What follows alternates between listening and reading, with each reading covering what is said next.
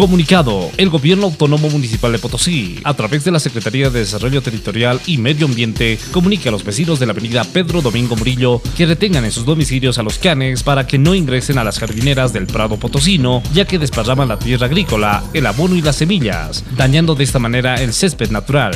Advertimos también que se está fumigando las jardineras de la avenida Murillo con sustancias químicas que pueden provocar la muerte de los canes. Cuidemos nuestros jardines y a nuestras mascotas.